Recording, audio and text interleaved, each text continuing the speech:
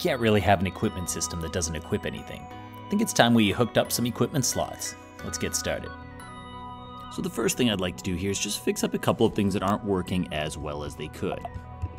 For example, when I collect my coffee and sword, they are showing up in the correct place. However, at the moment, if I click on the sword and I try to drop it, which is functionality that should be happening, it looks like nothing's happening. That said, if I close the inventory, you'll see that swords are appearing, and if you look in my hierarchy, you'll see that multiple swords are appearing. I can go down to my console, and you'll notice that we are getting a null reference error. I'm just going to click on the first error message here, and follow that to the code. Right here, you'll see that our quantity text is the problem, and that's because there is no quantity text in our inventory. This is just a holdover from when we copied this script from our item slot. We can actually get rid of that line altogether. We can scroll up, and you'll find that in line 88 in my case, in the on left click though, we also have another reference to our quantity text. We're gonna take that out. We do still need quantity, just not the text itself. We can now go to the very top where we can just take out this reference to TextMesh Pro quantity text altogether. All right, the worst of the problem is now fixed. We can click on our sword and drop it. However, we're getting this ugly white square left behind. And when I click on other squares, you'll notice they are not properly deselecting. First off, to fix the ugly square, we just need to go into our equipment panel, open up the item panel, and let's just go into the prefab for one of these item slots. In here, if you scroll down, you'll notice that I just forgot to fill the empty sprite image, so right now it's doing the square, which is a default. And if I fill this instead with an actual empty sprite, we'll now get a nice empty sprite when we play the game. Since I did this to the prefab, it will automatically apply that change to all the other slots. The other error is in our inventory manager script under deselect all slots. And at the moment, whenever a slot is empty, it will call deselect slots which will go through all of the item slots, turn off the shaders, and make sure that we know they're not selected. However, we're not currently doing this for our equipment slots. So I'm just gonna copy this for loop, paste it down below, and just change the item slots to equipment slots. And with that done, we can now click on our sword to drop it. It drops properly, the slot is deselected, and the sword appears on the map. All right, with that done, we're ready to dive into the meat of today's tutorial, which is going to be looking at how to make our items actually go on to our player's equipable slots. Let's dive in. All right, now at the start of this project, we had things set up so that your item scripts, when you collect the items, could pass information to your inventory manager, which then passed the information to your item slots. When you wanted to drop an item back on the map, you would pass the information back the other way to your item. Now we started off this tutorial series by adding another option which allowed your inventory manager to send information to the equipment slots instead of your inventory. This time we're going to add another layer. We're now going to add your equipped slots.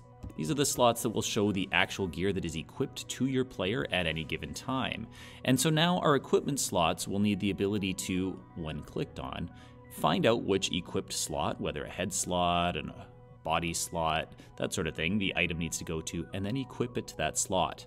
That's where we're headed in this tutorial, and let's get started. So what we're hoping to accomplish today is that when we click an item over in our equipment inventory, that item will select the correct equipped slot over on our player equipment menu and then move itself into that slot while deleting itself from the equipment inventory. To get started with this, we're going to head down into our equipment slot script. All right, now the first step here is just to declare some variables up at the top. We're gonna need to be able to talk to each of those slots in our player equipment menu. So I'm just gonna head down below our item data and our item slot. Just gonna put a comment in here telling us that this will be a reference to our equipped slots. And right here, we're gonna make a serialize field reference. This is going to be a reference to equipped slots. And um, we haven't created that yet, so it's not going to like it for the moment. And the first one will be our head slot. And we could write a whole bunch of serialized private fields here, but we can save a lot of time by just adding a comma and then putting the name of all the different slots that you're going to have. All right, with that done, we've now created the ability, theoretically, for our equipment slots to talk to our equipped slots. Now what we want to do is head on down to our on left click and we want to do something with the logic of what happens when we actually click on one of these items. So first off, if we click on the item when it's already selected, so this top part here, we want to actually have the item become equipped, which means we're not going to need any of this logic here. For example, we don't need to check if it's usable, that was for our items, and we don't need to worry about the quantity or anything like that. Instead, what's gonna happen here is we're just gonna create a brand new method, which we will call equip gear. Now going to head down directly below this on left click, and we'll actually make this private void equip gear method.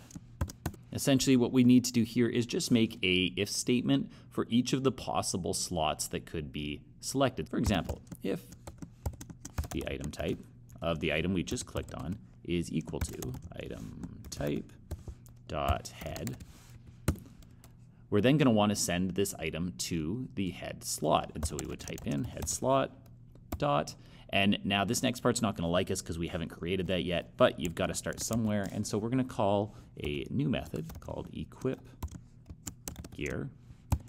And in that method, we're just going to send over some information that it will need. So it will need the item sprite. It's also going to need the item name, and finally the item description. You're then going to need to create one of these for each of the possible slots you have on your player.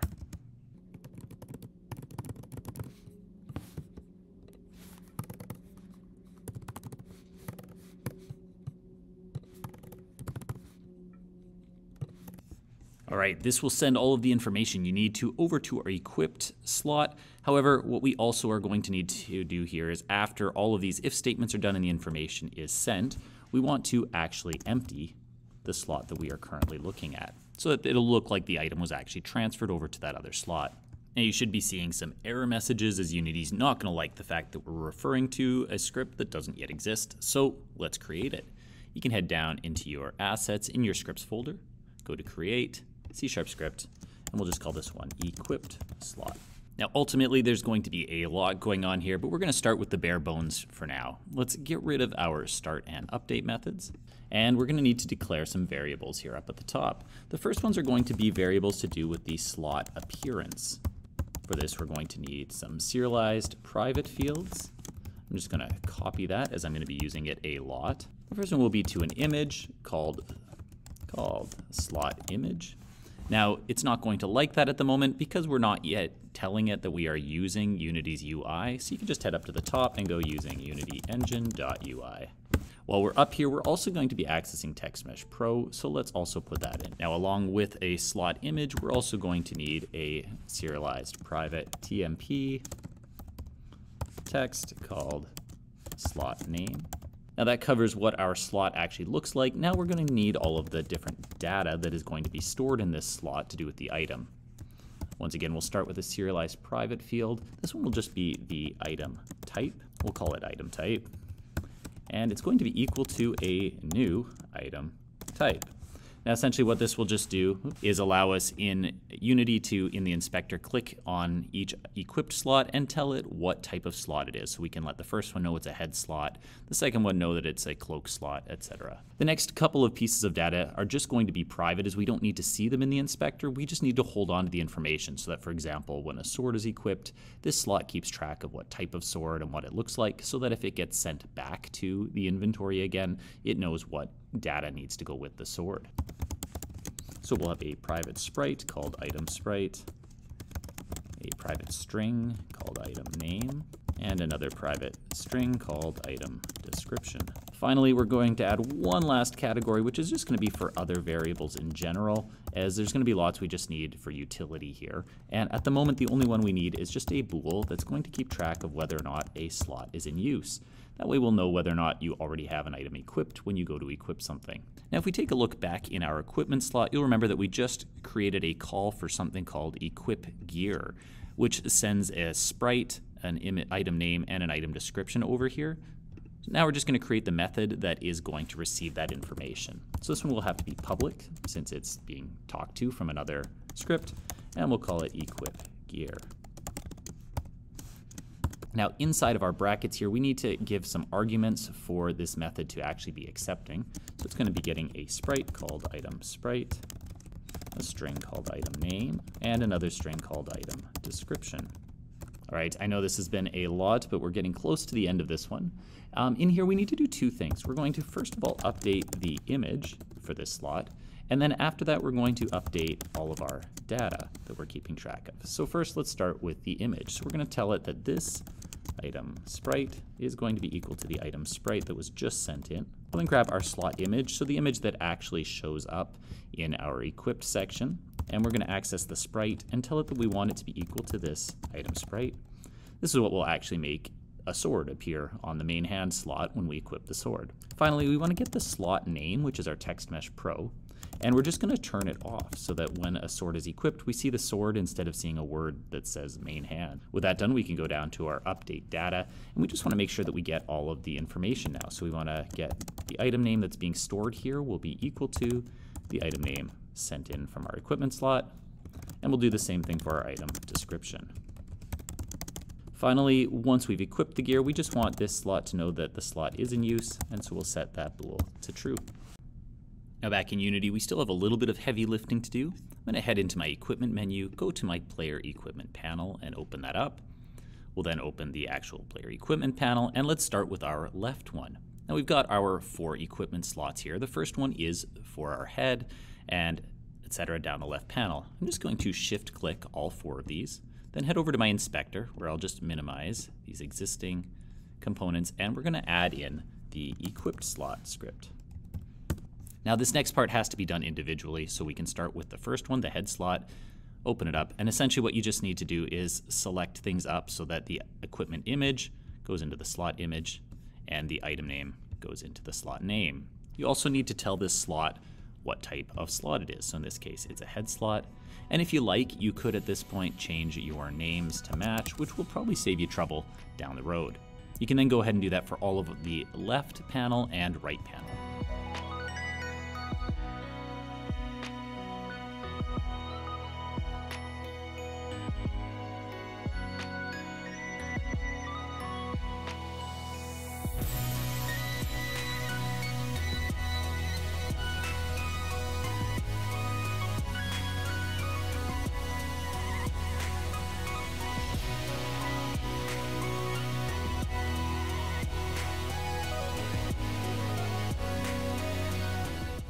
Now before we're ready to actually test this, we're just going to need to take one more visit to our item panel, which we can open up and you'll see all of our item slots here.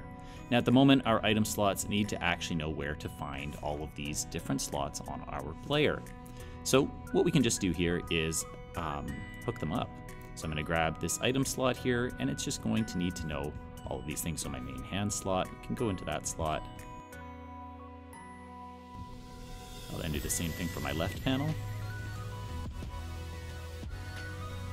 And you'll notice that at the moment we have a little problem in that not all of that data is updating in all of the other slots. And so what we can just do, I'm just going to delete these extra prefabs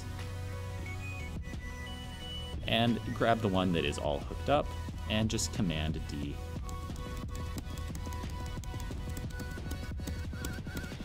All right, at this point now I can click on any of the slots and you'll see that all of our data has been filled in. Now unfortunately this creates one other problem and that is just simply if you click on our inventory canvas, you look at our equipment slot and all looks good, it says there's 20 of them, but because we deleted and recreated them, our array is now more or less empty. And so I'm just going to zero this out in order to get rid of all those slots. I'll lock our inspector, and just one more time I'm going to shift click all of the item slots, from our equipment and drag them in there. Now collect our sword, click it once in order to select it, and click it again in order to equip it onto our player. Now there's still lots to do of course. At the moment we can't unequip it, it doesn't change our stats or the way our player appears. We'll get there though. Looking forward to seeing you in the next video. Until next time, this is Matt with Nightrun Studio. Cheers.